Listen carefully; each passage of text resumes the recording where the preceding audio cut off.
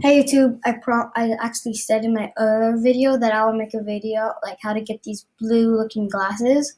So the first thing you want to do is go into you see uh I'm on computer, but you could do it on iPad too, I think. You have to go into uh https two dot slash slash web dot roblox dot com slash promo codes. And once you get in promo codes, you put Roblox, oops, Roblox rocks 500k, and you press redeem. As you can see, I already did it, and then you should go into avatar, and then you would find this.